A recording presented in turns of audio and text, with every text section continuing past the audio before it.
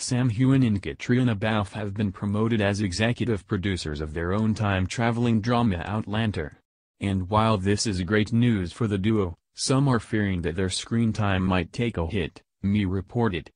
This is especially true since Outlander Season 4 diminished the role of Jamie, Sam Heughan, and Claire, Catriona Balfe, throughout the installment.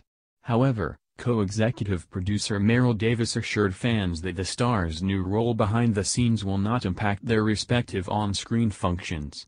It's quite the opposite, in fact. Davis explained that part of the reason why Sam Heughan and Catriona Balfe was underutilized, or not utilized at all, in some episodes of the fourth installment is the storyline. With Brianna, Sophie Skelton, and Roger, Richard Rankin, having a more prominent role in the story moving forward, screen time reduction of both the stars is bound to happen.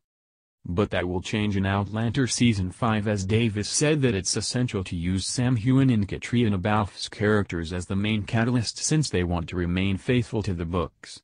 For their part, the duo has been working hard behind the scenes even before they got to be executive producers. Series star John Bell said that whenever he needs help in interpreting and delivering a certain dialogue, Sam Heughan and Catriona Balfe is his go-to mentor.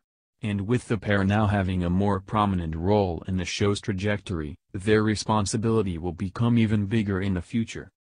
But given that Sam Heughan and Catriona Balfe are two individuals that are quite proficient at handling responsibility, this transition will do little to slow down their momentum.